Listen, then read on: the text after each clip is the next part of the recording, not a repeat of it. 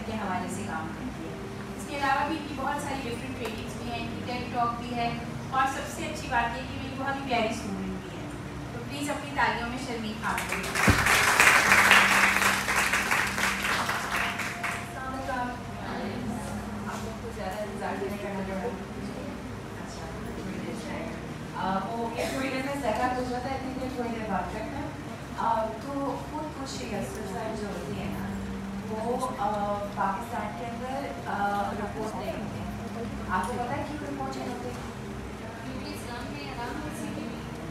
इस्लाम में हराम है मगर हमारे कॉन्स्टिट्यूशन में भी हराम है यानी कि अगर किसी ने खुदकुशी की कोशिश की हो और वो अस्पताल पहुँच जाए तो उनकी उनके ऊपर एफ़ आई आर कट जाता है एफ़ आई आर कट जाता है या तो उन्हें दस हज़ार रुपये देने होते हैं या उन्हें जेल जाना होता है आई थिंक तीन महीने के तो अगर बंदा वैसे एक जहनी दबाव का शिकार हो और उसने अपनी जान लेने की कोशिश की वो इतनी फ्रस्ट्रेशन उसके अंदर सोचे फिर पुलिस वाले आ जाए तो और भी मसला हो क्योंकि और फिर चाय पानी है तो आप सब जानते हैं तो जब हम सुसाइड की बात करते हैं पिछले साल सिर्फ़ पिछले साल का अगर हम देखें तो कोई सिर्फ़ कराची में कोई तकरीबन अंदाजन पाँच हज़ार सुसाइड हुए और कहते हैं कि रोज़ कोई पाँच से बारह लोग अपनी जान लेने की कोशिश करते हैं अभी आजकल तस्कीन फाउंडेशन जो है भी लोग पाकिस्तान के साथ, ये लॉ चेंज करने की कोशिश में है।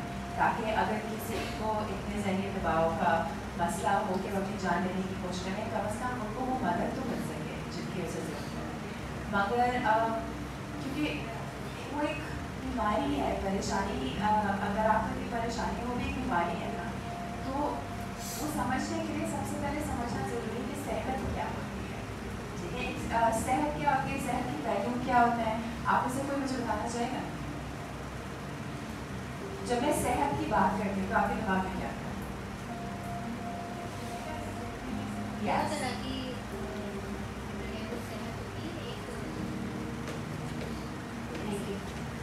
दो तरह की जो है वो सेहत के हवाले से अगर हम बात करें तो हेल्थ दो तरह की होती है। एक फ़िज़िकल हेल्थ होती है जिसमें आप अपनी आम फहम जबान में कि आप चल फिर सकते हैं आप उठ सकते हैं आप खा सकते हैं अपने काम खुद से कर सकते हैं जो ऐसे काम जो कि रोज़मर्रा की हमारी ज़िंदगी के काम है फ़िज़िकल काम हम जिनको कहते हैं, वो आप बहुत अच्छे तरीके से और प्रॉपर तरीके से करें तो वो फ़िज़िकल हेल्थ के कहलाती है और जो मेंटल हेल्थ है, वो मेंटल हेल्थ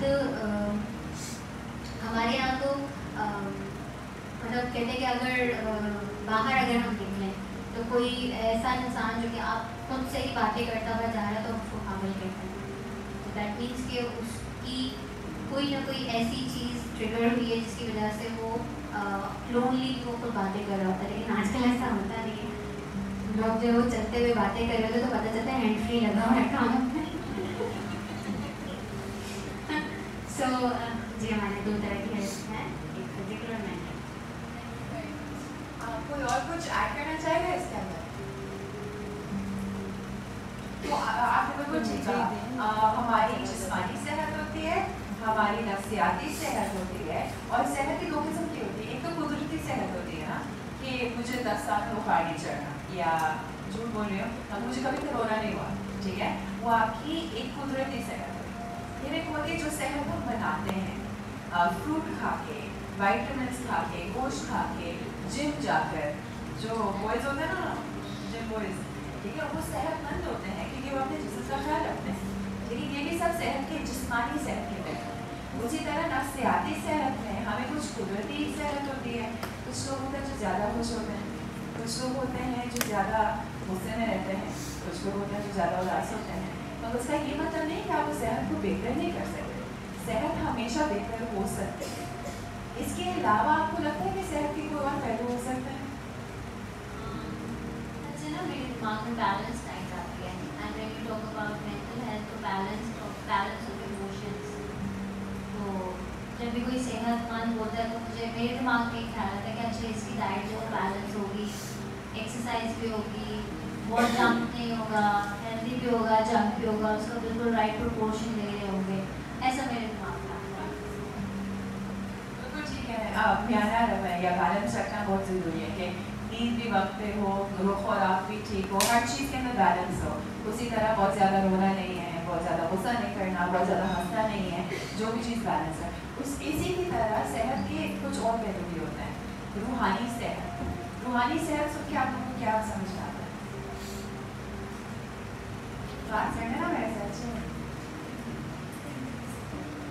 वेरी गुड एक जिस्मानी है, ठीक है?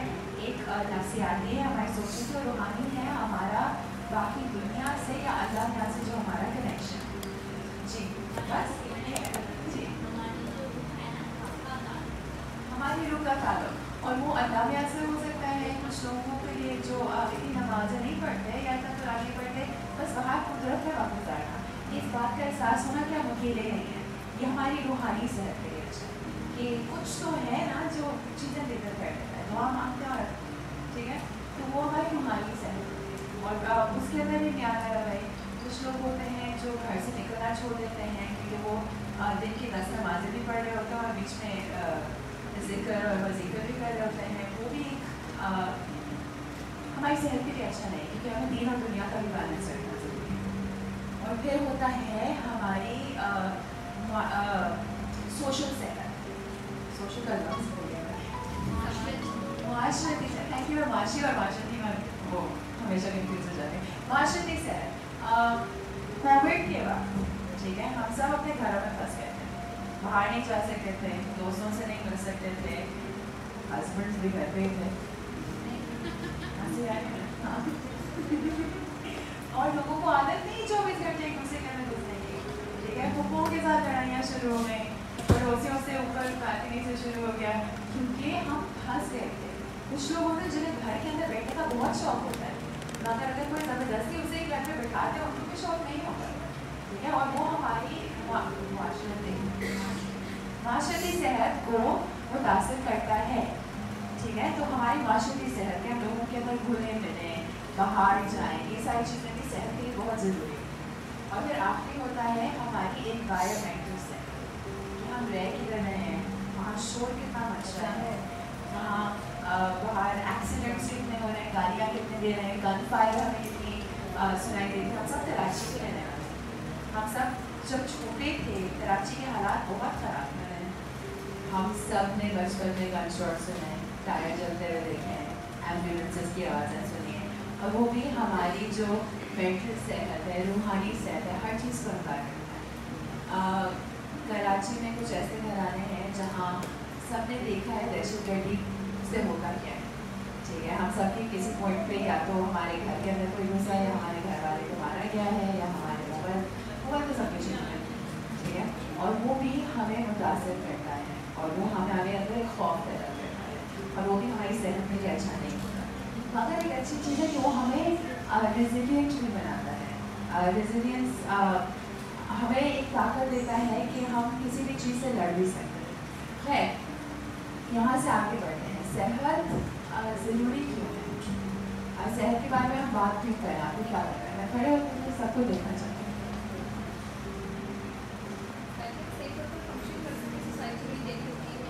हाँ ताकि सही तरह सकें डेली रूटीन में सोसाइटी में तो ये चीज़ें बहुत ज़रूरी हैं थैंक यू आपका नाम क्या है थैंक यू अच्छा तो उसी तरह स्ट्रेस क्या होती है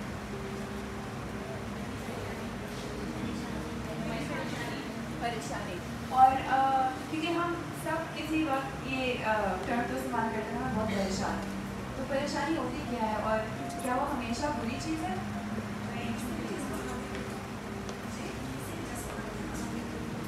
किसी भी हावी करना नहीं किसने बोला था?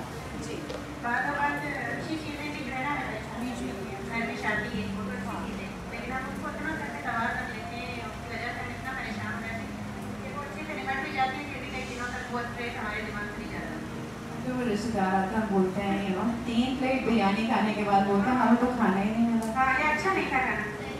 अच्छा नहीं था। तो तीन प्लेट नहीं खाते ना हमने केटरर को तीन लोगों के पैसे दिए आपके परेशानी होती है। और फिर होता है कि पता नहीं इससे कम ना पड़ जाए। अभी तक लाइट वाले को पैसे नहीं दिए इतनी छोटे छोटे खर्चे हैं तो क्या? हाँ। ठीक है। आ, आप सब पेरेंट्स हैं ना यार अच्छा। तो परेशानी ये भी हो सकती है कि कल आपके बच्चे का इम्तहान है। ठीक है? इम्तहान है। बच्चे ने तैयारी नहीं की है। तो बच्चा भी परेशान हो सकता है साथ माँ बाप भी परेशान होता है। कि इसको तैयारी करनी है इसकी। तो अ, वो अच्छी परेशानी होती है बुरी परेशानी होती है?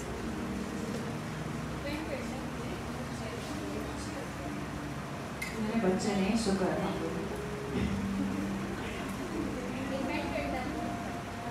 अच्छा इसका क्या मतलब है? डिपेंड करता है ग्रुप पर एक होता है कि हम उस अपने बच्चे को किस तरह से ट्रीट कर रहे हैं एक होता है कि कल तुम्हारा इम्तहान है, अभी तक पढ़ने नहीं बैठो कब पढ़ोगे? नंबर लेकर आना है। क्योंकि एक डिप्रेशन खुद माँ का भी होता है ना कि भाई, ज़ाहिर अगर वो नंबर ठीक नहीं लेकर आएगा तो पीछे से हस्बैंड और दूसरी चीज़ें होगी भाई, तुम, तुम्हारी वजह से बिगड़ा है, उसको वो सुनना पड़ता है। तो उस वजह से वो डिप्रेशन बच्चे के ऊपर जाता है। फिर बच्चा, उसको हमारे दफ़ा बच्चे जो है, वो बहुत ज़्यादा अच्छे नंबर लाने की वजह से जो डिप्रेशन होते हैं कि पता नहीं मैं पास होऊँगा, नहीं होऊँगा हालाँकि इतनी तैयारी कर चुके होते नहीं इसके बाद भी नहीं, अभी भी ये सवाल मेरा बाकी है। तो डिपेंड करता है मूड के ऊपर। एग्जैक्टली कुछ माँ बाप अपने ऊपर बहुत ज़्यादा हावी कर देते हैं, कुछ बच्चे अपने ऊपर बहुत ज़्यादा हावी कर देते हैं, कुछ बच्चे अरे इम्तहान है सो फिर देखेंगे। मैं जो होती थी ना मेरी टीचर यहाँ बैठी, मैं यहाँ से पंद्रह मिनट पहले जाकर अपने दोस्तों के साथ बैठती थी तो बोलती, क्या है? और मैंने कभी चीटिंग नहीं की। वो पंद्रह मिनट में जो मुझे सिखाते थे मैं जाकर करती थी और आपके सामने खड़ी खैर तो इसका मतलब ये है कि हमारे नज़रिए पर डिपेंड करता है। कुछ लोग ज़्यादा स्ट्रेस लेते हैं जिसको डिस्ट्रेस कहते हैं। कि टेंशन की इस लेवल की अलामत हो चुकी है कि वो डिस्ट्रेस की तरफ़ हैं। और कुछ लोग स्ट्रेस एक अच्छी तरीके से इस्तेमाल करते हैं कि वो ज़्यादा पढ़ लेंगे या वो ज़्यादा अच्छे मार्क्स लाएँगे, उनकी परफॉर्मेंस बेहतर होगी। ठीक है? तो दिस स्ट्रेस जब हमें बहुत ज़्यादा टेंशन फील हो रही होती है, वो जब आप लोग डिस्ट्रेस में होते हो कैसी फीलिंग आती है आपको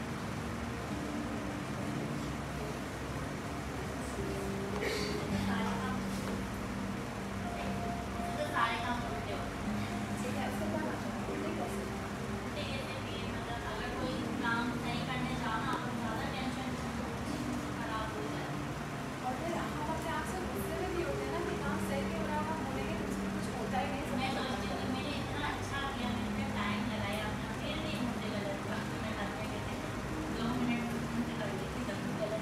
और- और एक चीज़ है कि लगता है कि चीज़ें गलत हो रही हैं और कभी कभार हम सब कुछ सही कर रहे होते हैं, मगर हम अपने आप से ही गुस्से में होते हैं। तो हम अपने आप को कह रहे होते हैं, तुमसे तो कुछ ठीक नहीं होगा ना हमेशा गलत कर देते हैं। हम अपने आप को ताने देना शुरू करते हैं।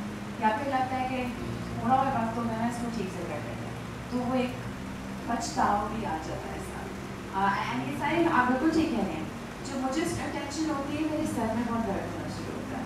मगर पेट खराब हो जाता है। है ना? हाँ जाता है मेरी सारी बीमारियाँ जिसमानी होती हैं। और कमर में जो दर्द होता है। बुढ़ापा भी चढ़ रहा है ना। आप लोग के साथ और क्या होता है? कंधे, मेरे कंधे तो बीस सालों से ना, नज़र मैं भी दुखती हूँ। दूसरी बात ये कि बिल्कुल सुस्ती भी आ जाती है जैसे कि बिल्कुल बेचैनी, सुस्ती भी नहीं करता काम करने को। तरह हाँ और जब बहुत ज़्यादा मुझे टेंशन होती है ना, मैं जाकर सो जाती हूँ। क्योंकि मुझे गुस्से का इजहार करना, मैं अब जाकर सीखती हूँ। ठीक है? तो इससे बेहतर कि मैं आपस से बाहर हो जाऊँ, किसी की कुछ चढ़ाना चाहिए तो मैं जाकर सो जाती हूँ। ठीक है? तो सोना जिसम में दर्द होना, बीमार पड़ जाना, बहुत ज़्यादा रोना, बहुत ज़्यादा डांटना, ये सब स्ट्रेस के साइंस हैं।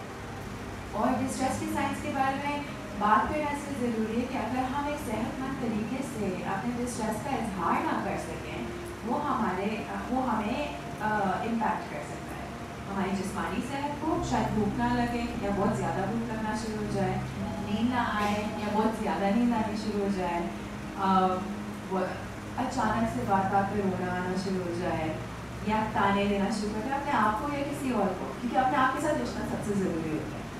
या बच्चों को सही साइड से लगा कर आगे बढ़े। ये सारी चीज़ें जो है डिस्ट्रेस बाहर निकालने के तरीके तो सेहतमंद तरीके से निकालने की ज़रूरत है। यहाँ पे बहुत मज़े की वीडियोस आई थी मगर हम देख नहीं सकते। तो आगे बढ़ते हैं। जब ये स्ट्रेस इस लेवल तक पहुँचती है कि वो हमसे संभाली नहीं जा रही और हमें लग रहा है कि कोई हमें समझता नहीं है तो फिर वो डिप्रेशन की तरफ़ एनजाइटी की तरफ़ जा सके जो बीमारी और ये बहुत ज़रूरी है कि हम डिप्रेशन एनजाइटी ऐसे अल्फाज रोज़मर्रा ज़िंदगी में भी इस्तेमाल करते हैं। मैं बहुत उदास हूँ, मुझे घबराहट हो रही है। मैं बहुत एंशियस हूँ, बहुत डिप्रेशन हो गया ठीक है? और जो एक दो तीन दिन की डिप्रेशन होती है, उसमें और डिप्रेशन की बीमारी में फ़र्क ये है कि कोई भी चीज़ जो आपके रोज़मर्रा के काम को या आपकी पढ़ाई को, आपकी कंसंट्रेशन को दो हफ़्ते से ज़्यादा इम्पैक्ट करे, मुतासर करे, वो बीमारी होती है। रोज़मर्रा की ज़िंदगी में होता है कभी कभार किसी के घर में इंतकाल हो गया, कुछ चेंज हो गया कोई भी ऐसा ऐसा हादसा हुआ, उसकी वजह से होता है तो बिल्कुल नॉर्मल है। कभी कभार हम होते हैं परेशान कभी कभार गुस्सा आता है और ये सारी चीज़ें नॉर्मल है, ज़िंदगी का हिस्सा है। हर हर चीज़ बीमारी में मगर बात करना चाहिए, खैर तो जब हम बहुत डिस्ट्रेस के शिकार होते हैं तो शायद किसी को मनफी ख्याल आने शुरू हो जाए। तो क्या अलामत हो सकती हैं दिखाने के लिए कि कोई किसी नफसियाती डिस्ट्रेस या दबाव से गुजर रहे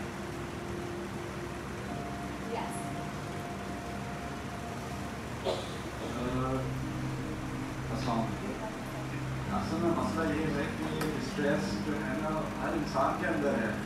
लेकिन उसको जब आप आपका जब जो है ना, आपके सराउंडिंग में माहौल ऐसा हो, जिसकी वजह से आप स्ट्रेस ना हो तो ये चीज़ आपको एक मतलब एक छोटे से अरसे में या एक लिमिटेड टाइम में नहीं हो सकता। जब आप आपके सराउंडेड में जो लोग बैठे हैं, जो आपसे टॉकिंग कर रहे हैं, जो डिस्कशन कर रहे हैं सोशल मामला जो भी हो, उसमें सारी पॉजिटिविटी हो तो आपको इस चीज़ में से बहुत ही मतलब कोई मुश्किल नहीं होगी उसको समझने में। लेकिन आप अचानक से, क्योंकि आपके अंदर से क्रिएट हो रहा होता है।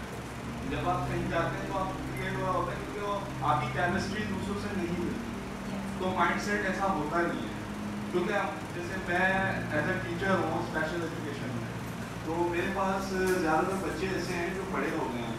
अब वो बड़े बच्चे इस तरह से स्ट्रेस हो जाते हैं कि वो सोचते हैं, सर, हमारा क्या होगा? हम तो ऐसे हैं। अब तो फिजिकली जो है मतलब बिल्कुल ही एक तरह से ऐसे मतलब हमें हेल्थ की ज़रूरत है वक्त। हमें उठने, बैठने, चलने, फिरने में हमारी ज़िंदगी क्या है? तो उस लेवल में जाके हम उनको बहुत मुश्किल से समझा पाते हैं इंडिविजुअली उनकी जो ना हम मतलब उनको समझाते हैं कि आपका मतलब उनको मेंटल हेल्थ की बहुत ज़्यादा ज़रूरत है। जो हम यहाँ से कैच करके वहाँ जो है डिलीवर करते हैं। तो बहुत अच्छा अपने टॉपिक आज लेकर आएँगे क्योंकि बहुत से बच्चे इस तरह के शिकार हैं, लेकिन मसला ये है कि वो एक्सपोज नहीं कर पाते। तो इसका तो हम आपसे ही जवाब मान मतलब हमें चाहिए कि हम इसको किस तरह कंट्रोल करें? इसके क्या क्या अलामत होंगे क्या क्या वजूहत होंगे, जिसको हम जिसको हम मतलब बताने के बाद जो है, उस बच्चे में या उस शख्स में या किसी फर्द में उस चीज़ की जो है ना, चीज़ों को कंट्रोल करने की जो है एक ताकत एक कुत आ जाए। तो इसको कैसे करें? हाउ आपने बहुत खूबसूरती से समझाया कि एक इन्वायरमेंटल हेल्थ होती है, फिर एक सोशल हेल्थ होती है। फ़िज़िकल हेल्थ होती है और एक मेंटल हेल्थ होती है। और चारों चीज़ें साथ चलती हैं। इनकी फ़िज़िकल हेल्थ नहीं है, ठीक है? तो इनकी मेंटल हेल्थ को फिर भी बैलेंस करना ज़रूरी है। अब एक मिसाल देती पाकिस्तान के अंदर एक जो हमारी माइनॉरिटी एम्प्लॉयमेंट होती है उसी तरह ने ट्वेंटी परसेंट या टेन परसेंट एम्प्लॉयमेंट ज़्यादातर बड़ी कंपनीज़ में डिसेबल्ड लोगों को दी जाती है। ठीक है? तो एम्प्लॉयमेंट चांसेस हैं। उसके अलावा जा रहे हैं मेंटल हेल्थ की बात वो सेल्फ स्टीम हमारा रिश्ता अपने आप के साथ अगर पक्का हो तो दुनिया जो भी करे यू नो यहाँ मैं अपनी मिसाल देती हूँ, ठीक है, आसान है, ठीक है काली मोटी, सब कुछ सुना है ज़िंदगी ठीक है तो मुझे पता है कि मैं खूबसूरत हूँ क्या फ़र्क पड़ता है। एंड आई नो ये थोड़ी सी शैलो मिसाल है, ठीक है, मगर मैं ये दिखा रही थी कुछ नहीं, कि लोग, आप जिस भी कैफियत में हो ना, लोग बात करेंगे। ठीक है? और उन बातों से किस तरह निमटना है, हम उस पर आएँगे आगे। एंड बहुत ज़्यादा ज़रूरी है कि हम, हमें इनको टूल्स देने हैं कि खुद से निमट सकें। ठीक है?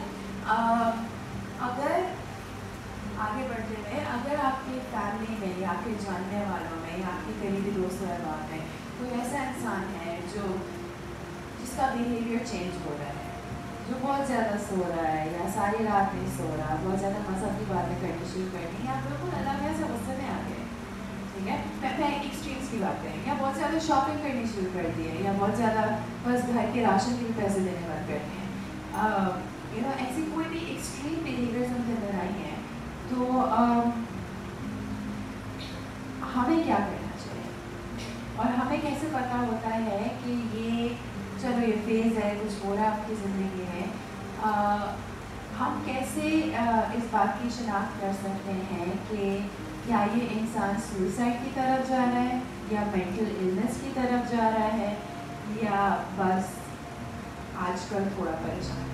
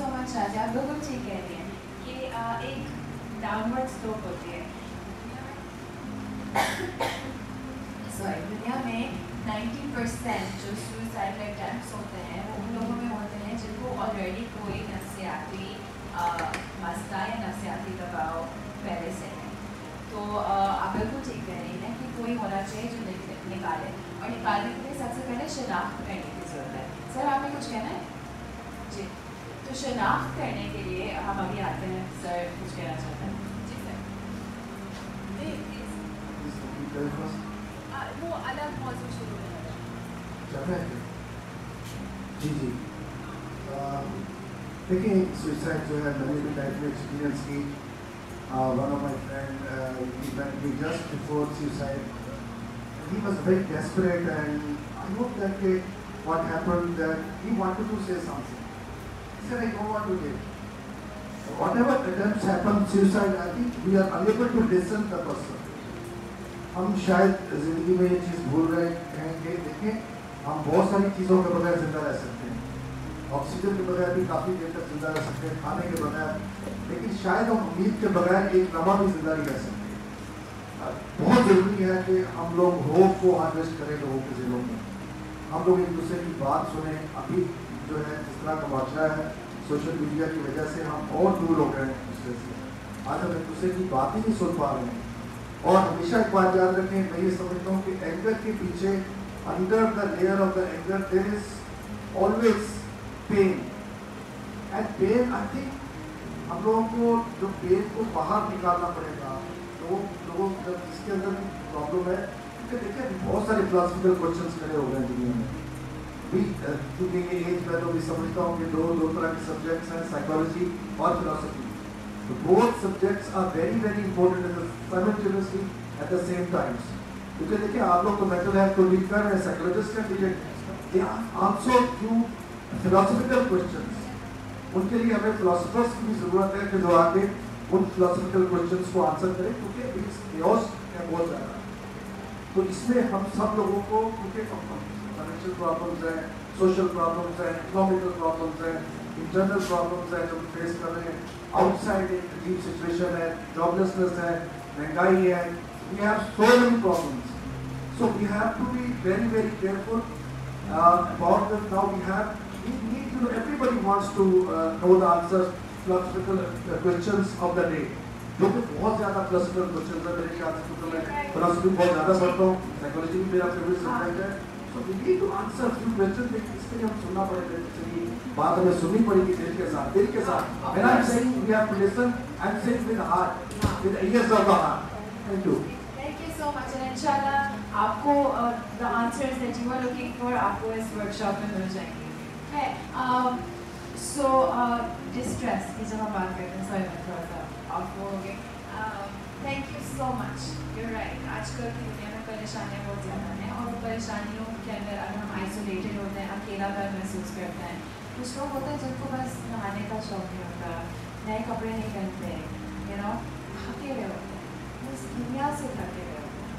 ये अलामत जो भी नज़र आती हैं कि दुनिया से थके हुए हैं से मिलने का कोई मूड नहीं हो रहा कमरे से नहीं निकल रहे दिन गुजर गए हैं खाने का मूड नहीं हो रहा ऐसी और बहुत चीज़ें या फिर आप देखेंगे कि कहीं उनकी आस्तीन थोड़ी सी ऊँची हो गई उन्हें अपने आप को दर्द पहुँचाया। है उन्हें दवाइयाँ खा ली। आजकल आजकल क्या? पाकिस्तान के अंदर एक खूबसूरत एक बहुत बुरी चीज़ है कि हमारे पास दवाइयाँ ओवर काउंटर बहुत आराम से मिल जाती हैं। किसी से भी पूछो हाँ एक्सॉर्जनल खा रही जैनैक्स खा रही अ, और अगर कोई मुझे बता दे तो मैं कहती हूँ इतनी खतरनाक दवाइयाँ हैं कि डॉक्टर के बगैर आप नहीं ले सकते। कोई मेरे से पूछा, मैं कहती मैं डॉक्टर नहीं हूँ। या आपको बस इतना बता सकती कि प्लीज़ किसी डॉक्टर से पूछें। एंटीबायोटिक तक डॉक्टर की एग्जैक्ट मुताबिक खानी चाहिए। वरना हमारा जिसम ऑफ़ हो जाता है, अगली दफ़ा अगर हमें नफसियाती या जिसमानी बीमारी होगी तो एक अलग मसला होगा। क्योंकि वो फिर दवाई काम नहीं तो हाँ लोग दवाइयाँ खा लेते हैं गोलियाँ खा लेते हैं फिनाइल पी लेते हैं ये सारी चीज़ें मतलब वहाँ तक पहुँचने के लिए ठीक है क्योंकि अक्सर लोग क्या करते हैं सबसे पहले सोचते हैं जिस तरह आपने भी कहा था कि सबसे पहले मनसूबा बनता है कि मैंने अपने आप को दूर पहुँचाना है या हम लोगों से बात करते हैं कि बस ज़िंदगी में वो दिलचस्पी नहीं रही थक गए या नहीं करना एक उदासी की कैफियत होती है। आप देखते हैं कि उस इंसान का किरदार ही या बर्ताव ही पूरा बदल चुका है आपके साथ। तो अ, वो या तो इस तरह की बातें करना शुरू करते हैं या फिर अगर आप उनकी बातें सुने तो कहेंगे कि हाँ मैंने सोचा है कि आइडियाज़ नहीं दे रही अभी बैंक ताज़ा से जाकर पूछा या वैसे बाय द वे कोई हकीकत ताज़ा से कूद नहीं सकता और ऊपर उन्होंने नेट्स लगाए हैं इसलिए मैं ये मिसाल है। ठीक है? तो ऐसी बातें करना शुरू करेंगे। तो पहले एक सोच आती है, फिर एक मंसूबा बनता है। फिर उस मंसूबे के ऊपर वो लोग एक्ट करते हैं, ठीक है? तो जब वो एक्ट करते हैं ये भी स्टेटिस्टिक ये है कि मर्द जो है, ज़्यादातर ज़्यादा वायलेंट चीज़ों की तरफ़ जाते हैं तो बंदूक इस्तेमाल करेंगे या छुरी इस्तेमाल करेंगे, कोई चीज़ जो इंस्टेंटली हो गई। और औरतें जो हम ज़्यादातर गोलियाँ खाएँगी या ऐसी चीज़ें करेंगी। तो अगर आपके घर में या आपके सर्कल में कोई ऐसा इंसान है जो ऐसे बिहेवियर्स या अलामत दिखा रहा है, आप क्या कर सकते हैं? उनकी मदद करें। कुछ नहीं लड़कों में बात करनी चाहिए कि कौन से क्या है और वो इतना डीपली मीन्स बात का मैंने देखा है कि हिंदी जबान में काफ़ी तो वर्ड्स ऑफ़ लॉन्च ये लफ्ज़ होते हैं और फिर जब वो अल्फाज हम सुनते हैं तो हमें थोड़ा सा ठीक है ना आराम बचता है दिमाग में है सिचुएशन है यहाँ पे तो बात करनी चाहिए हमें अब जब जहाँ तक अगर हम फाइनेंशियल इशू नहीं कर सकते तो हम थोड़ा सा बात करके उसको काम डाउन कर सकते हैं Yes, you're absolutely right. Uh, हमारे साथ क्या होता है कि uh, एक तो बहुत नेचुरल सी चीज़ है ना जब हमें गुस्सा आता है तो हम तो रोज़ ही सुनते ना कोई कह रहा बस मैं मर जाऊँ या भाग जाओ यहाँ से तुम लोग खुश हो गए ना मेरी शक्ल ही देखने को मिले तो ये हमारी ज़बान भी काफ़ी तंजिया है मगर ये हाँ, होता है सबके घर में होता है मगर ये बहुत ज़रूरी है इस बात को सामने लाना कि ये एक अलार्म है आपने अल्फाज बहुत खूबसूरत इस्तेमाल किया अलार्म है कि अ, ये ऐसी बातें ना करें मज़ाक में भी ना करें ठीक है अगर आप करेंगे तो फिर अ, तो फिर उनके साथ जाकर बैठे आपने ये ये क्यों कहा क्या चल रहा है आपकी ज़िंदगी में क्या बात करना चाहते तो लोगों से बात करना और ऐसे सवाल पूछना जो ओपन एंडेड हो तो अक्सर अगर हमारे को जानने वाले ऐसे बात कर रहे होंगे हम जाकर बोलेंगे इसमें क्या जाकर पढ़ो शुक्राना करो ज़िंदगी है सेहत है और ज़िंदगी में आगे बढ़ो मगर ये देखना कि ये भी ज़रूरी है कि शायद वो वाकई में इतने डिस्ट्रेस में है कि उन्हें कोई अभी खुशी या शुक्र नहीं है उनकी ज़िंदगी में उनसे बात करना पूछना क्या हो रहा है ठीक है खुले सवाल पूछना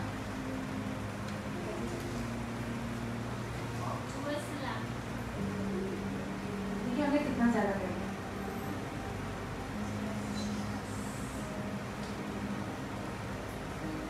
वीडियो देखो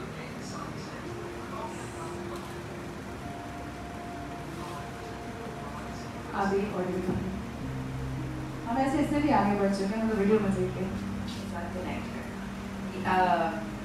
कभी कभार अगर कोई कह रहा है कि कभी कभी मैं सोचती हूँ कि मैं अपनी जाने तो अर्ली स्टेजेस हैं ठीक है तो एक साइकोलॉजिस्ट या साइकाट्रिस्ट से मिलाकर उनका इलाज हो सकता है अगर कोई एक अगर कोई इस स्टेज तक पहुँच गया है कि वो अपने आप को हर्ट कर रहा है तो डायरेक्ट हॉस्पिटल एंबुलेंस कॉल करके डायरेक्ट हॉस्पिटल और साइकाइट्रिस्ट से ऐसे अस्पतालों के लिए कराची में ताकि पता हो क्योंकि ज़्यादातर ऐसी इमरजेंसी साइकाइट्रिक सर्विस अवेलेबल नहीं है।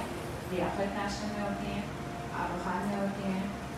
इसके अलावा उमंग की एक हेल्पलाइन है ऑनलाइन जहाँ पे आपको नंबर लेके कॉल कर सकते हैं। तस्कीन की हेल्पलाइन है, ये नंबर एंड में आएगा। ठीक है क्योंकि ये पता होना कि हमें कहाँ जाना है, अक्सर इमरजेंसी के वक्त में हमें पता नहीं होता और सब भूल भी जाता है। इसलिए मैं ये आपको सवाल का जवाब ना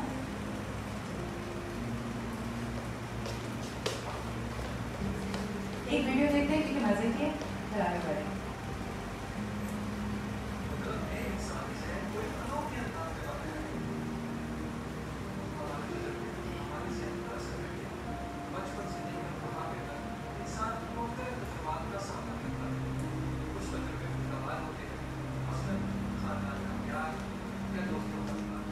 अच्छा अ, हम ये सब कुछ कर चुके हैं मैं बस थोड़ा सा खुलासा देना चाहूँगी कि परेशानी के या जहनी दबाव के जो अलामत होते हैं, वो जिसमानी सेहत कर सकती है आपकी जो हमने सेहत के जो चार पहलू डिस्कस किए जिस्मानी सेहत या आपके ताल्लुकात भी कर सकते हैं, उसके साथ आप, शायद आपके जज्बात काबू में नहीं आए, जैसे आपका बहुत ज़्यादा रोना या बहुत ज़्यादा हंसना, बहुत ज़्यादा गुस्सा होना, या पढ़ाई या काम करने में मसला आ सकते हैं? ठीक है और जिस तरह हम सुसाइड की बात कर कि आपका रवैया ख़तरनाक हो सकता है। अपनी तरफ़ या किसी और की तरफ़। अक्सर गुस्से में आकर के सुसाइड भी दो तरह की होती है ठीक है? अ, एक होती है कि कोई काफ़ी महीनों से सोच के या हफ्तों से सोच के एक मनसूबा बनाकर करता है। कुछ सुसाइड्स होती हैं जो कम होती हैं वो जज्बात होती हैं कि एक जैसे अ, आपने मिसाल दी थी कि मैं बस मर जाऊँ ठीक है? तो उस जज जज्बे में आकर अक्सर लोग इतने फ्रस्ट्रेट हो जाते हैं कि उस वक्त छुरी उठाकर कुछ करते हैं या तो उन सारी चीज़ों के लिए ठीक है कि अगर आप आपका बिहेवियर ज़्यादा जज्बाती है और आपकी तरफ़ या किसी और की तरफ़ नहीं है अक्सर लोग अ, किसी और को भी दर्द पहुँचाने की कोशिश करते हैं उससे तो वो एक अलामत हो सकती है। मिजाज पर काबू नहीं होना जिस तरह हमने कहा बहुत ज़्यादा सोना जागना हंसना अपने सारी जिम्मेदारियों को पूरा करना कुछ लोग होते हैं ना कि छः महीने का बिजली का बिल साथ लेके आ गए या एक पूरे साल का घर आया है एक पूरे साल की बच्चे की फ़ीस भी लेके आ गए कि चलो एक साल की भी टेंशन नहीं। तो फिर वो भी एक लाल बत्ती हो सकती है ये क्यों करना है? है ना एक पूरे साल की फ़ीस और किराया क्यों दे रहे हैं? क्या होने लगा है? तो ये ये भी एक अलामत हो सकती किसी से मिलने का मूड नहीं होना ठीक है? और अ, हाँ निशानियाँ तशद की तरह के और ये वो तीन चीज़ें कि मनसूबा बंदी ख्याल मनसूबा बंदी तो कुछ और ख्याल करना मनसूबा बनाना और और कोशिश करना, ठीक है? बचने के लिए उनसे खुले सवाल पूछना, उनसे खुल के बात करना, उनकी बातें सुनना। अक्सर हम कहेंगे कि ये आयत पढ़ो सब ठीक हो जाएगा, या ये तस्वीर कर लो सब ठीक हो जाएगा। और वाकई में शायद आपकी सेहत के लिए ठीक है। मगर शायद उनके लिए उस वक्त वो वो नहीं सुनना चाहते। हैं वो चाहते हैं कि आप उनको सुने। तो उनसे पूछना अच्छा आप मेरे से क्या चाहते हैं? मैं आपकी मदद किस तरह कर सकती हूँ? मैं किस तरह आपकी ज़िंदगी में आसानी ला सकती हूँ? ठीक है? सपोर्ट देना। वो हम कहना, ठीक है, चलो, साथ चलते हैं। किसी मायने रख से आपसे बात करते हैं। मगर ये भी पता होना कि कब ये आपकी ज़िम्मेदारी नहीं एक दफ़ा आपने किसी प्रोफेशनल से उनको कनेक्ट कर दिया है, पहले सेशन लिए चले गए हैं, उसके बाद वो उस प्रोफेशनल की ज़िम्मेदारी है। वो आपकी नहीं है, क्योंकि वो जिस डिस्ट्रेस से जा रहे हैं, वो उनका डिस्ट्रेस है और आप डॉक्टर तक पहुँचा चुके अगर खुदा ना खास्ता किसी की गाड़ी का एक्सीडेंट हो वो एक बंदा सड़क पे पड़ा है और खून आ रहा है, आपने एंबुलेंस बुलाई आपने उसे हॉस्पिटल भेजा, उसके बाद वो आपकी ज़िम्मेदारी नहीं ठीक है वो डॉक्टर्स की ज़िम्मेदारी है तो ये भी एक कट ऑफ़ होना बहुत ज़रूरी है और ये समझना ठीक है वीडियो सो वीडियो देखने से पहले मुझे एक छोटी सी बात करनी जब कोई सुसाइड करता है तो वो सिर्फ़ जिसने किया है, उनकी डिस्ट्रेस नहीं, वो डिस्ट्रेस और लोगों को भी मुतासर करती है। ठीक है? तो उस हवाले से मैंने वीडियो दिखाना चाहूँ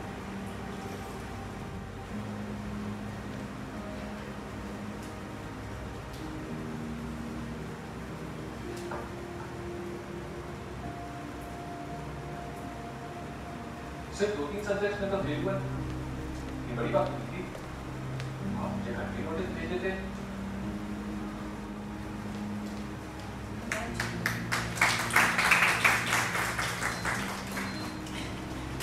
और भी वीडियोस आएँगे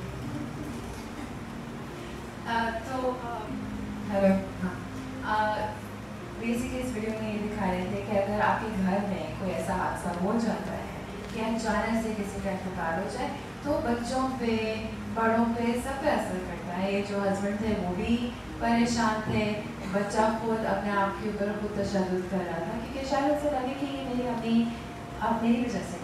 शायद मैंने कुछ गलत किया है। और वो सर्वाइवर्स गिल्ट होता है कि शायद मैं और कर सकती थी, शायद मैं बेहतर कर सकती थी, शायद अगर मेरे पर इतना गुस्सा नहीं होती, अगर मैं अच्छी बच्ची होती, अगर अच्छी बच्ची का जो कॉन्सेप्ट होता है ना, अच्छी बच्ची, बुरी बच्ची, कि अगर मैं ज़्यादा अच्छी होती तो वो वो भी एक बच्चे की नफ्सियात को सारी ज़िंदगी के लिए है और फिर दूसरी चीज़ लोग क्या कहेंगे पर भी आएँगे वो उससे पहले। अ, आप लोगों की पाँच छः सीरीज़ हो चुकी हैं नफ्सियात के बारे में तो आपको साइकोलॉजिस्ट साइकाइट्रिस्ट काउंसलर के बीच में फ़र्क तो पता है ना? चल स्किप कर और वीडियोस देखते जी वीडियोस में पसंद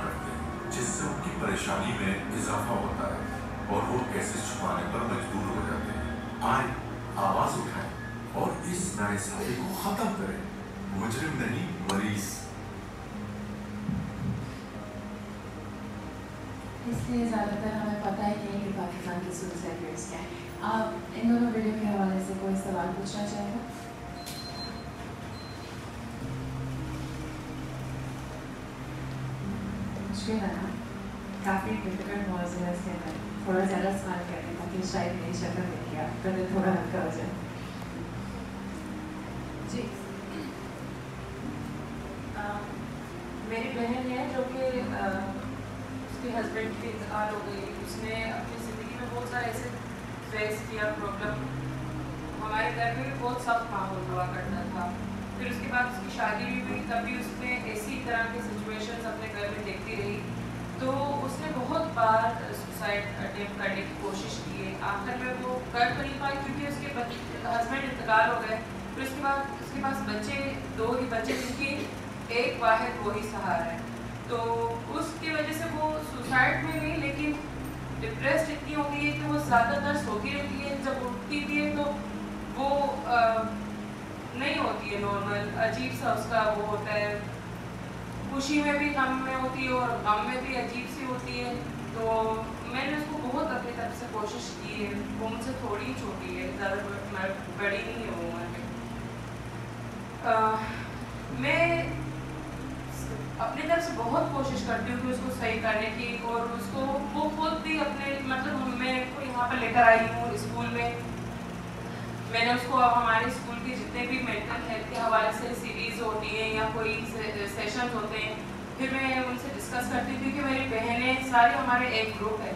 मैं उनमें सबको उनके जो प्रॉब्लम्स होते हैं, जिस तरह का होता है, उसको उसी सिचुएशन में मतलब समझाने की कोशिश करती हूँ कि किस तरह वो बेहतर तरीके से उसको कर सकती हैं। लेकिन इस, ये टेबलेट्स पे चली नहीं अब घर में ये होता है कि अगर कोई ऐसी प्रॉब्लम हो जाती है, अगर वो बीमार हो जाती है, उसकी तबीयत खराब हो जाती है वो अपने बाल नोचती है, चीखें मारती है, कपड़े अपने चबा लेती है जो पट्टा है, कुछ भी है, वो ऐसी हालत कर देती है अपनी कि, बिल्कुल लगता ही नहीं है कि वो और खड़े खड़े दड़ाम से गिरती है ज़मीन पे, फिर उसके बाद वो कितने दिन तक उसके उस जगह में दर्द होता है, वो चल नहीं पा रही होती लेकिन घर के सारे अफराद हटो हटो, पागल हो गई, बोरा बोरा, दौरे आ गए, हटो, निकलो यहाँ से, एक टेबलेट डाल के इसके मुँह में डालो, चलो करो, जल्दी करो, आगे पागल हमारे बीच में। मतलब इस तरह का उसको अभी मतलब वो अपने इलाज करने की कोशिश भी अगर उसको घर वाले अपने मतलब वो अपने ससुराल में रह लिए हम लोग उसकी कोशिश करें कि वो बेहतर हो जाए। उसने इतनी बार अटेम्प्ट किए सुसाइड कर, करने की और वो सिर्फ़ अपने बच्चों को लेके जीना चाह रही है। लेकिन उसको इस कदर मतलब अभी इस तरह मशहूरी दे दी है उसके लिए जिधर भी एक थोड़ा सा भी उसने बोला ना कि क्यों तुम लोग इस तरह कर रहे हो?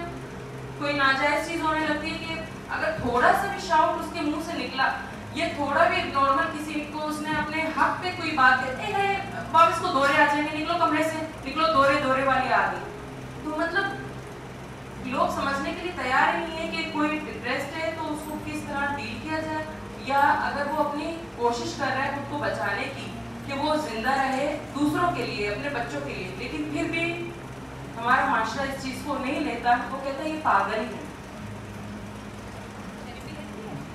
नहीं। नहीं बहुत कोशिश की यहाँ पर आने की वो एक दफ़ा आई भी थी लेकिन मिजोरा के सेशन होते थे फिर वो एक दफ़ा आई मिजोरा के पास रोई धोई अपना सारा सिचुएशन बयान बयान किया लेकिन मिजोरा उसके बाद फिर नहीं आई तो स्टेटिस्टिकली जो चीज़ें डिप्रेशन के लिए जो सबसे बेहतर काम करते हैं वो है दवाई और दवाई के साथ थेरेपी दोनों चीज़ें जब साथ चलती हैं तो नहीं ले पाती कहाँ जाए? वो नहीं होता है यहाँ यहाँ पे। पे थेरेपी नहीं होती। हाँ ये हमारी वो है हमारी नहीं है बाहर की है। है। इसके अलावा आप आप किधर रहते हैं? मैं तो यहीं पे रहती हूँ। पीछे जो पुराना बॉयज़ हॉस्टल है ना एस आई जी के पास। जी।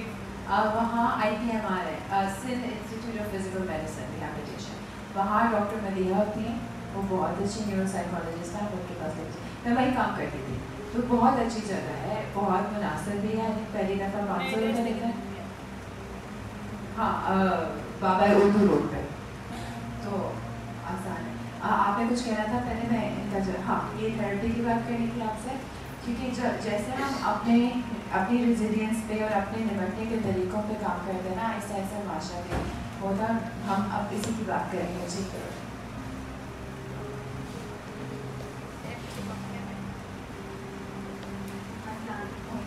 लेकिन मुझे ऐसा लगता है कि जो खुदकुशी करता है ना बाद का उसको उस पहुँचाने में भी माहौल का बहुत बड़ा हाथ है। अब हमारे मोहल्ले में एक लड़का है, काफ़ी हाई एजुकेशन है, बहुत अच्छा है, लेकिन उसको दो साल के उसने एजुकेशन छोड़ी तो कोई जॉब नहीं मिली। उसके जिन जो उनके दोस्त हैं उनके साथ उठते बैठते हैं, कोई उन्हें ताने देते तुम्हारे पढ़ने का फ़ायदा क्या हुआ? तुमने इतना पढ़ लिया, तुमसे तो हम अच्छा काम कर रहे हैं अच्छा कमा रहे हैं, तुम बैठे हो हम सब। वो सारी बातें नोट करते करते करते उसने मैंने खुदकुशी की कोशिश की, दो बार। ये तो अल्लाह का शुक्र है कि वो बच गए। तो ज़्यादातर हम ही उस बंदे को वहाँ तक पहुँचाते हैं। आप ठीक हैं, माहौल का बहुत असर होता है मगर सिर्फ़ माहौल नहीं होता, और शहर के चार पहलू हैं। मगर आप सही कह रहे हैं आपको पता है सुइसाइड की दुनिया में सबसे जो हाईएस्ट रेट्स हैं स्विट्ज़रलैंड में। है स्विट्ज़रलैंड कितनी खूबसूरत जगह और पाकिस्तान में हुंजा में, चित्राल में, जहाँ हमारे गिलगित बल्तिस्तान में 99 परसेंट एजुकेशन रेट है। सब उनकी तो एजुकेशन फ्री है वहाँ और बहुत अच्छी क्वालिटी है। सबसे ज़्यादा पी आपके गिलगित बल्तिस्तान और के पी के में बैठे हैं। और उनके तो इतने पढ़े लिखे लोगों की होती है, क्योंकि वो बेचारे जन्नत छोड़ के या तो इस्लामाबाद आते हैं या कराची आते हैं, क्योंकि सारी नौकरियाँ हैं। और उनको आदत नहीं है शोर की इस सारी चीज़ों की, अगर कोई कभी जाए ऊपर पहाड़ों में, बहुत खूबसूरत है, वो वाकई में जन्नत में रहता है। तो मगर रेजिलियंस अंदर से आती है। हम क्योंकि इस शोर में पैदा हुए हैं सादगी में पैदा हुए हैं ना, हम बहुत कुछ संभाल सकते हैं जो शायद वो ना संभाल सकें। तो रेजिलियंस हमें सिखाई जाती है।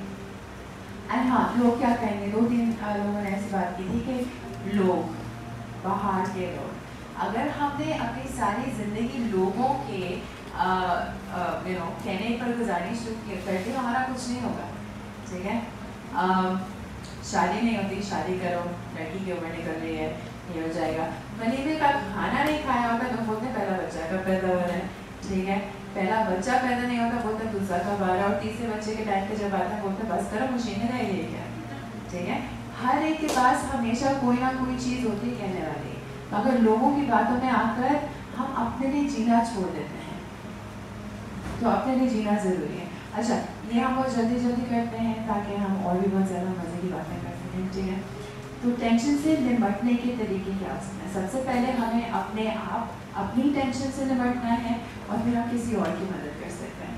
अ, कभी अ, जब हम जहाज़ में बैठते हैं ना तो जहाज़ में कहते हैं कि अगर हवा का दबाव कम हो ऑक्सीजन की मास्क गिरेंगे अगर मास्क गिरे पहले अपनी शक्ल पे लगाना है फिर जो आपके साथ बच्चा है जो भी बैठे क्योंकि अगर आपने अपने बच्चे की जान तक बचाने की कोशिश की इतनी देर में आपका ऑक्सीजन खत्म हो जाएगा आप दोनों जाएँगे। ठीक है तो अपना ख्याल रखना बहुत ज़रूरी है। अगर आप परेशानी से गुजरे उसको, उससे निपटना ज़रूरी है। तो सबसे पहले अपनी सेहत। अगर भूख नहीं लगी, फिर भी खाना खाना ज़रूरी है। वर्जिश करना ज़रूरी है। हम सबकी जो हम, हमारे जिसम बने ही वर्जिश के लिए हैं। मजदूरी के लिए हैं। मगर आजकल की दुनिया में हमारी हमारी, बहुत सहूलत आ गई है। हर चीज़ ऑर्डर हो जाती है हमें बाहर नहीं जाना पड़ता रिक्शे हैं गाड़ियाँ हैं बसें हैं तो अ, हमें तक चलना नहीं पता है। हमारे जिसम को आदत है दिन में तीस चालीस किलोमीटर चलने की। और फिर अब अगर कोई हमसे एक किलोमीटर चलाता चाहिए बस ठीक है? तो वर्जिश की ज़रूरत है वो हमारी मेंटल हेल्थ के लिए बहुत अच्छा है। uh, अगर आप लोग रिलीजियस हैं तो नमाज़ें पढ़ना।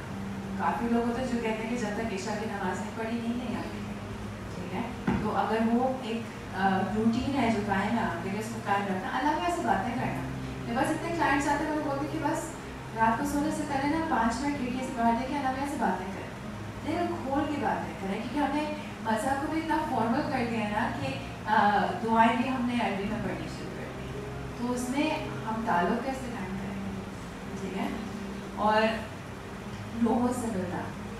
कोरोना ख़त्म हो गया है तो लोगों से मिलना दावतों में जाना अपने लिए कुछ करना। अब ये भी नहीं कि लोगों के साथ जाकर बैठना, बस जाकर बाज़ार में लोगों को देखने से भी ना दिल खुश होता है। खास करके पिछले दो सालों बाद। और हॉबीज़ होना, ठीक है? कुछ लोग ड्राइंग करते हैं, कुछ लोग पेंटिंग करते हैं, कुछ लोग किरत करते हैं, कुछ लोग नाते पढ़ते हैं, कुछ लोग गाने गाते हैं। कुछ लोग घर में दरवाज़ा बंद करके डांस करते हैं। जिस भी चीज़ से आपको खुशी मिलती है ना, उसके लिए वक्त निकालना। क्योंकि अक्सर मैं लोगों को कहती हूँ कि हॉबी करें कोई हॉबी करें या लिखें। अब क्योंकि लिखने में क्या होता है, हम अपने आप से बातें कर रहे हैं और लोग कहते हैं वक्त नहीं करता। मैं कहती हूँ कि चौबीस घंटे में आप अपने लिए दस मिनट ही निकाल सकते हैं तो चौबीस घंटे में अपने लिए दस मिनट, आधा घंटा निकालें। बच्चे के दिल्ली वहीं होंगे हस्बैंड दिल्ली नहीं होगा, ससुराल वाले नहीं होंगे। अपने लिए वो पंद्रह या बीस मिनट निकालना बहुत ज़रूरी है और ऐसी चीज़ें आउटिंग्स कर रहे हैं। मशवरों में वो है। मैंने आजकल सेवेंटी फाइव रुपी के नोट्स कलेक्ट करने शुरू कर दिए सेवेंटी फाइव रुपी का नोट आया था। बहुत खूबसूरत है। वो कोई भी चीज़ जो आपको खुशी पहुँचाती है ना, वो करें फिर नुकसान से निपटने के तरीके होते हैं मंशियात का इस्तेमाल, या दूसरों को नुकसान पहुँचाना। ठीक है? आपके हस्बैंड का दिन, दफ्तर में अच्छा नहीं गुजरा। वो घर आया हुआ बहुत टेंशन हो रही है अभी बात लेकर दिमाग नहीं का ठीक है? सारा गुस्सा ने आपके ऊपर निकाला। फिर आपका बच्चा है बोला हमें भूख लगे भूख लगे भूख लगे भूख लगे मतलब दिमाग नहीं खराब करोगे ठीक है? आपने बच्चे पे निकाला। बच्चा अगले दिन स्कूल आया, किसी ने आकर उसे कुछ बोला बोला, दिमाग नहीं करोगे ठीक है? तो क्या हो रहा है? वही चेन बन जाती है। ठीक है? और ये एक नेगेटिव तरीका है निपटने का। इसके अलावा मंशियात का इस्तेमाल सिगरेट चर्च शराब, गुटखा आजकल इस इलाके में बहुत सीरियस मंशियाती सर्कुलेट हो रही हैं। तो अपने बच्चों को आगाही देना और अपने आप को और अपने घर वालों से इन चीज़ों से दूर रखना ही ज़रूरी है। दैन हाई इख्तियार कर देना? बाहर जाने का मूड नहीं होना। हर चीज़, किसी भी चीज़ की ज़्यादा ज़्यादा हंसना, ज़्यादा जागना, ज़्यादा खाना और खुद को नुकसान लोगों से बातें करना ज़रूरी है और बातें दो तरीके होती होती हैं। एक इजहार करना और एक सुनना। ठीक है? बातों में दो लोग होते हैं ना हमेशा। ठीक है? और हम क्या करते हैं? हमें इतनी जल्दी होती है हम सुनते नहीं हैं। और फिर हमें लगता है कि कोई मुझे सुनता क्यों नहीं है? अगर हम नहीं सुनेंगे तो कोई हमें क्यों सुनेगा? तो ज़रूरी है कि दोनों चीज़ों को साथ लेके चलें। मैं आपके साथ एक छोटी सी वर्जिश करना चाहूँगी उसके बाद आप लोगों की जो भी क्वेश्चन हैं मैं उनके जवाब दूँगी। ठीक है? ठीक है।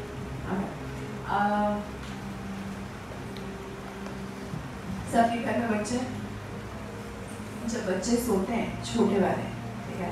तभी आपको सांस लेते हुए देखा क्यूट होता है। अच्छा वो सांस लेते हैं तो कभी नोटिस किया कि जो सांस अंदर लेते हैं, कभी बाहर निकलता है और पेट अंदर जाता है, ठीक है? जब हम सांस लेते हैं, जब हम बड़े हो गए, हम सांस लेते हैं, पेट अंदर जाता है, पेट बाहर निकलता है, ठीक है? तो इसमें हम क्या कर रहे हैं, हम अपने आधे फेफड़े इस्तेमाल हैं अगर हम सिर्फ़ आधे फेफड़े इस्तेमाल करेंगे तो हमारे ऑक्सीजन हमारे जिसम में कम होगा हवा कम अंदर जाएगी? तो आज हम फिर क्या करेंगे कि हम पेट बाहर निकाल के सांस लेंगे ठीक है? और सिर्फ़ दो मिनट के सही है? तो मैं चाहूँगी कि आप सब थोड़े से कंफर्टेबल हो जाए मैं भी बैठ के अगर आप मैं ना करें टांगे ऊपर डालने लगे सुकून से बैठ जाए। किसी ने आगे आना है ज़रूर आ जाएगी। ठीक है? और यहाँ बेशक हाथ रख सकते हैं ताकि आप मॉनिटर करें, क्योंकि थोड़ा मुश्किल है पहले करना, ठीक है? और अगर आँखें बंद नहीं करनी है तो नीचे की तरफ़ देख लीजिए। बस थोड़ा सा रिलैक्स हो जाए। आप नाक से सांस अंदर लेनी है और पूरा पेट बाहर निकालना है। और आहिस्ता आहिस्ता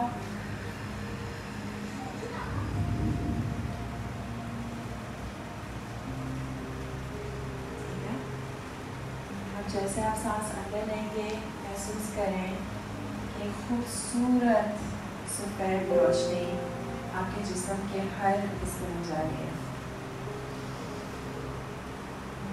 और जैसे आप सांस बाहर लें, कोई भी दुख, दर्द आपके जिस्म के किसी भी हिस्से में हो तो आपकी सांस के साथ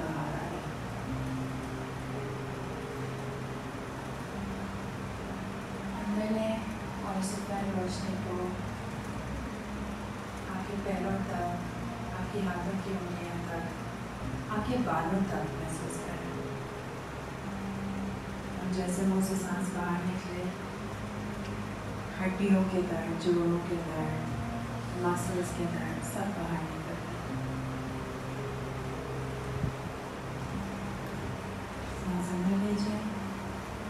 कोई भी टेंशन हो परेशानी हो उदासी हो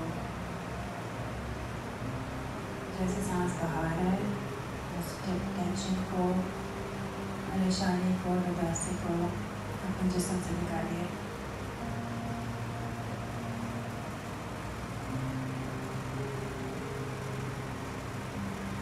जैसे आप सांस अंदर लें महसूस करें कि आपका जिसम का हर हिस्सा खुशी से भर रहा है आप सांस बाहर लें कोई भी चीज़ जो उस खुशी को रुकने नहीं दे रही, वो आपकी सांस के साथ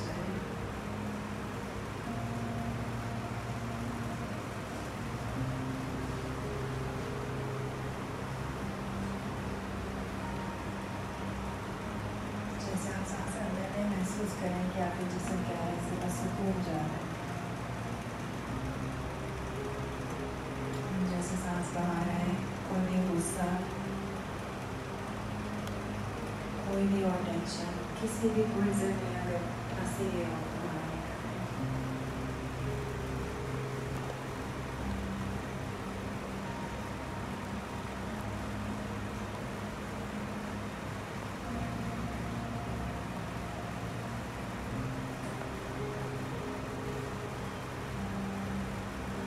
जब तैयार हैं जिस कुर्सी पे आप बैठे, उसे महसूस करें अपने पैरों को ज़मीन पे महसूस करें और आहिस्ता आहिस्ता एक दो साँसें लेकर जब आप तैयार हैं अपने आँखें खोल लीजिए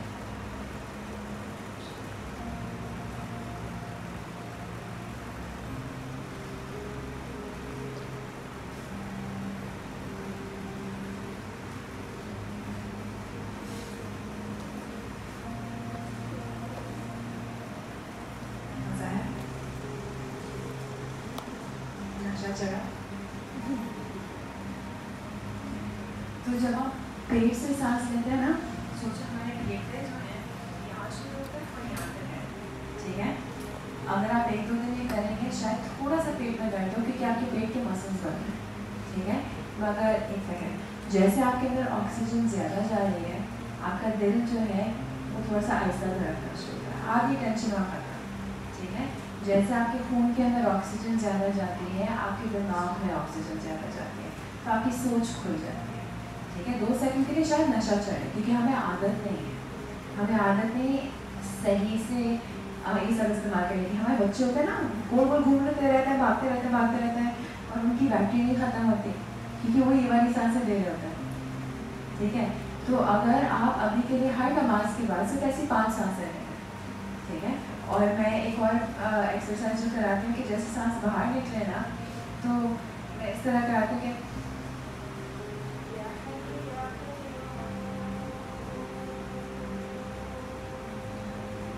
खत्म नहीं होती। ठीक है? तो उसके अंदर आपके फेफड़े की जो कैपेसिटी है वो और भी ज़्यादा बढ़ जाती है। और आ, और बहुत सुकून पहुँचता है। तो ये अगर आप दिन में पाँच दफ़ा करें आप खुद नोटिस करेंगे कि आपका डिस्ट्रेस कम हो गया कोई सवाल है?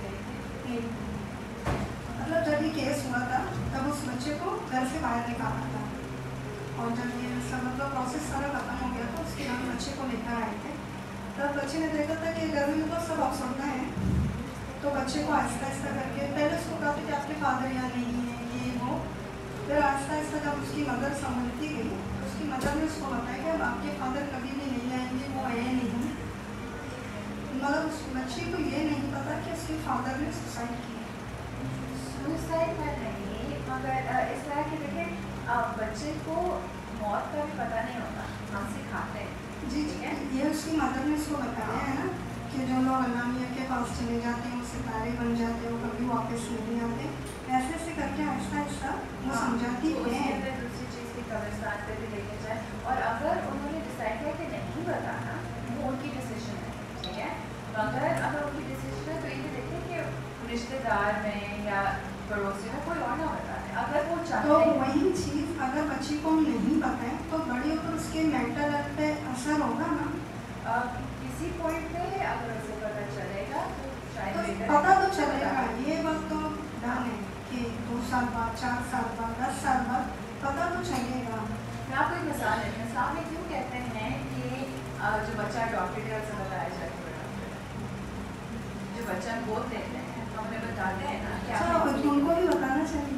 और ये ये कुरान है। ठीक है? मगर हम उन्हें इसलिए नहीं बताते हैं कि तुम मेरे नहीं हो। ठीक है? उन्हें इसलिए बताते हैं ताकि उन्हें भी अपनी असलियत हो क्योंकि उनकी आगे जाकर जब जायदाद की बात होती है, उनके माँ बाप की भी होती है और जिनके साथ रहते हैं है। ठीक है? मगर उसके साथ साथ उनको ये इल्म होना चाहिए ताकि जब बाहर से जाकर कोई और हमें बता दें उनके खिलाफ भी इस्तेमाल कर सकें। ठीक है? मगर एक तरीका होता है आपके इतने साल हैं बताने के एक साल अगर एक बहुत ट्रॉमेटिक चीज़ है तो आहिस्ता आहिस्ता ही हो सकता। है वैसे मुझे नहीं लगता डॉक्टर बच्चों को बताना चाहिए, मगर ये है एक चीज़ के साथ। आप से किसी और ने क्वेश्चन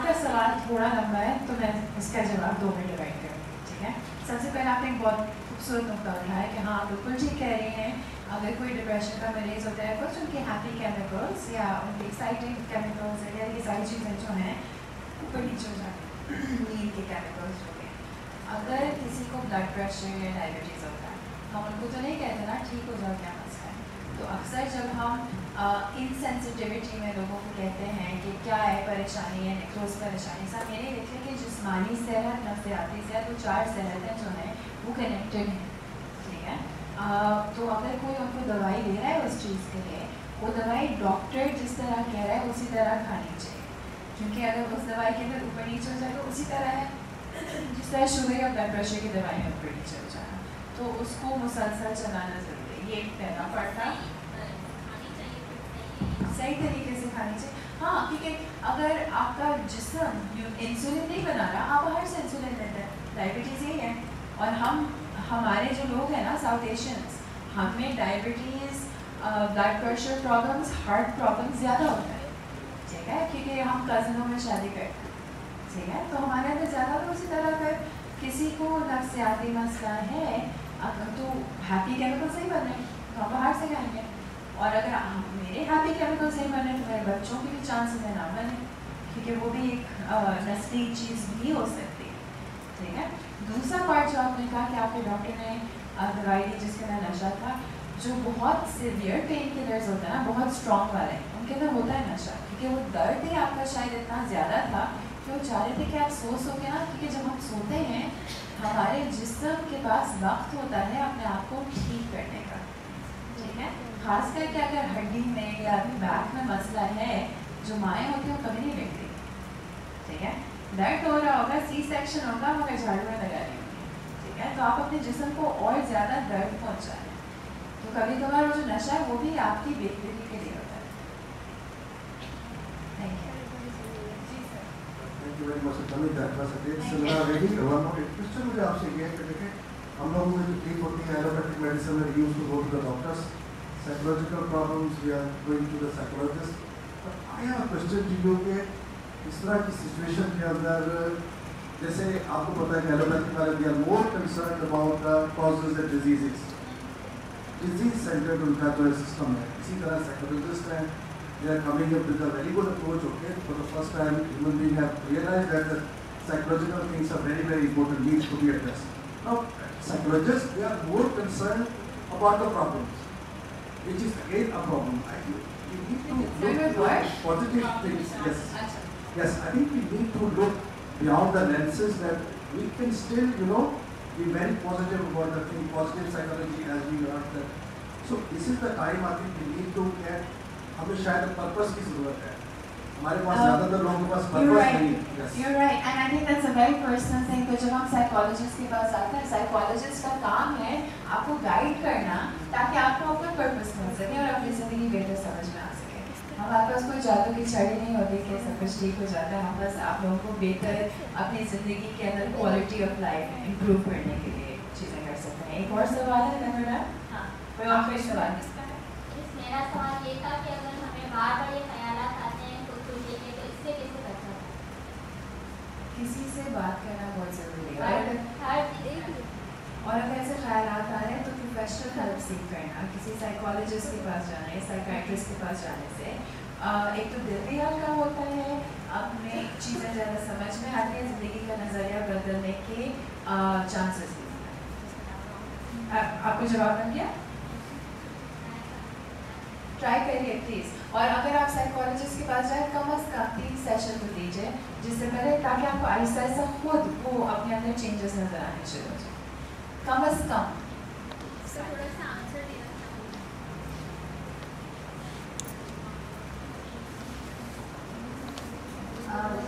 लास्ट में जो सिस्टर ने ये कहा कि ख्याल आते हैं और मैं आपकी बात से एग्री करूँगी कि अलहमदिल्ला, हमारे पास डी में सायशा के पास जाकर अपनी बात कर सकते हैं और इसके बाद जो है वो आपको वो रास्ता दिखाएँगे कि भाई हम क्योंकि हमारा जो स्कूल है वो यही पहला ट्रॉमा इन्फॉर्म स्कूल है इसी वजह से तो हम इनके सामने बैठ के जो आप लोग माशाल्लाह इतने अच्छे सवाल और इतने अच्छे बातें जो है वो कर रहे हैं क्योंकि आप इन्फॉर्म हैं इसी वजह से तो आप और मज़ीद मालूम लेने के लिए जो है वो आए हैं। तो मैं ये कहूँगी कि जो भी ऐसा सोचता है वैसे आयशा हमारे पास यहाँ मौजूद होती है दुआ मौजूद होती है तो प्लीज़ उनके पास जाएँ और अपनी बात को ज़रूर उनसे डिस्कस करें ताकि आपको सही राह मिल सके। Thank you Thank you.